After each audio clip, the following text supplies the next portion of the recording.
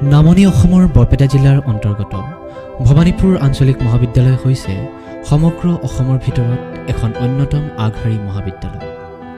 আজিৰ ভৱানীপুৰ আঞ্চলিক মহাবিদ্যালয় অসমৰ ভিন্ন ঠাইৰ শৈক্ষিক প্ৰজন্মৰ মাজত এক বিশেষ সমাদৰ লাভ কৰিবলৈ সক্ষম হৈছে।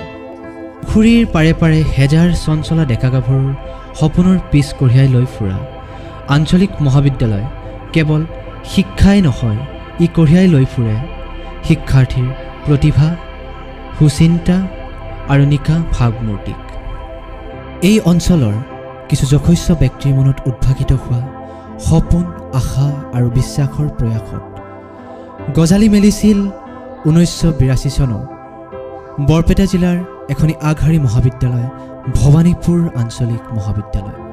এইখন জাতি বৰ্ণ ধৰ্মৰ বিভেদ নথকা সেউজীয়া পৰিৱেশৰ মাজত গঢ় লৈ উঠা ভৱানীপুৰ আঞ্চলিক মহাবিদ্যালয়ে সমাজক দান কৰিলে বহুতো মানৱ সম্পদ।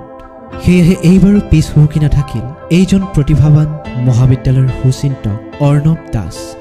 মহাবিদ্যালয়ৰ হকে কিছু কৰাৰ হেঁপাহ দুৰ্বাৰ আশা আকাংক্ষা আৰু সাহস লৈ থিয় হৈছে এইজন আগন্তুক ছাত্ৰ একতা সভাৰ নিৰ্বাচনৰ বাবে আপোনালোকৰ শিক বিচাৰি আমাৰ সকলোৰে পৰিচিত অৰ্ণৱ দাস।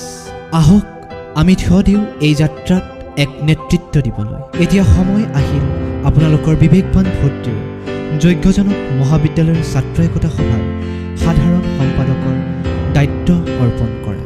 জয়টো ভৱানীপুৰ আঞ্চলিক মহাবিদ্যালয় জয় আই অসম। নমস্কাৰ মই অৰ্ণৱ দাস আগন্তুক ভৱানীপুৰ আঞ্চলিক মহাবিদ্যালয়ৰ দুহেজাৰ ঊনৈছ বিছ ইংৰাজী বৰ্ষৰ ছাত্ৰ একতা সভাৰ নিৰ্বাচনত সাধাৰণ সম্পাদকৰ পদত প্ৰতিদ্বন্দ্বিতা আগবঢ়াইছোঁ। এক নতুন চিন্তা এক নতুন কৰ্ম উদ্যম আৰু এক সুস্থ সবল পৰিৱেশ গঢ় দিয়াৰ উদ্দেশ্যে মই আপোনালোকৰ ওচৰত আশীষ বিচাৰিছোঁ যাতে মই এই সাধাৰণ সম্পাদকৰ দৰে পবিত্ৰ পদটিত জয় হ'ব পাৰোঁ। ধন্যবাদ।